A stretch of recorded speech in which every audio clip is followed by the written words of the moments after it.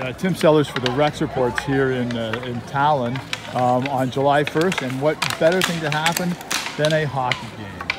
Here we have uh, some Estonian Canadians uh, playing here in a square just outside the old city. Our buddy Kenny Lomp there with the white uh, with the white uh, shirt on. Oh, and he doesn't make a good defensive play, but oh yeah, the kid saves it. So there you go. there you go. Looks like good old-fashioned, old-time hockey here. I wanted to play, but was told there aren't enough sticks, so uh, I was. Uh, I, I, I'm not. I'm not participating. I'm just filming uh, a Rex report. This is also a Tim and His World uh, sanctioned event uh, for you Tim and His World followers, of which I know there are many.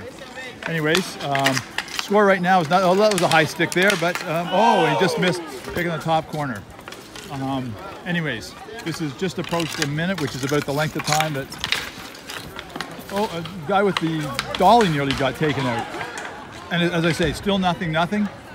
Um, Rex Walter for the Rex Reports, signing off for now.